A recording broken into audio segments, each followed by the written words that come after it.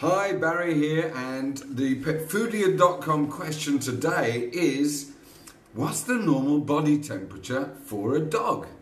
Well, normal body temperature in dogs does vary slightly, but usually falls within the range of 100.5 degrees Fahrenheit to 102.5 degrees Fahrenheit. And in new money, that's between 38 degrees centigrade and 39.2 degrees centigrade. And just like you'd take yourself off to the doctor if your temperature was not normal, you should do the same for your dog. Not to the doctor, to the vet, of course.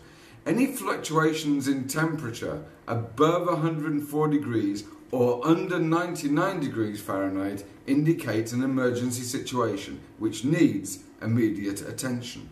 So, how do you take the temperature of your dog? Well, the best way to get an accurate read on your dog's temperature is through a rectal reading. There.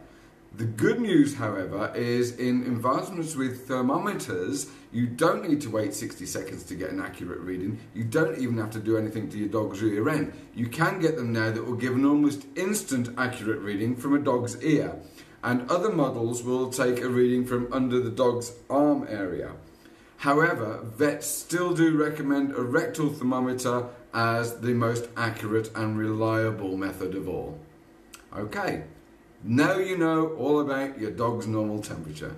Thanks for watching.